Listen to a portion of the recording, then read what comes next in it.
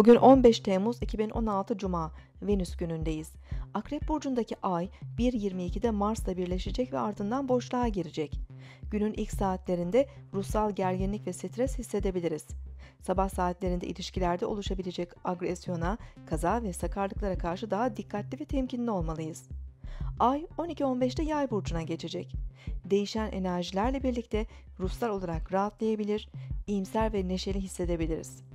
Son iki gündür bizi zorlayan yoğun duygu ve düşüncelerden uzaklaşmamız mümkün. Olaylara daha geniş pencereden bakabilir, uzak hedef ve ideallerimize odaklanabiliriz. Bunu yaparken günlük işlerde küçük detayları gözden kaçırmamız mümkün. Öğleden sonraki saatlerde Ay, Aslan Burcu'ndaki Merkür ve Venüs'te üçgen açı yapacak.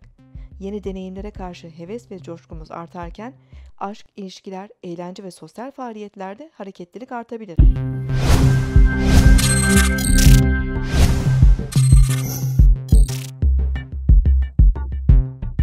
Bu akşam seminerimizi canlı olarak mobil uygulamamız üzerinden yapıyoruz.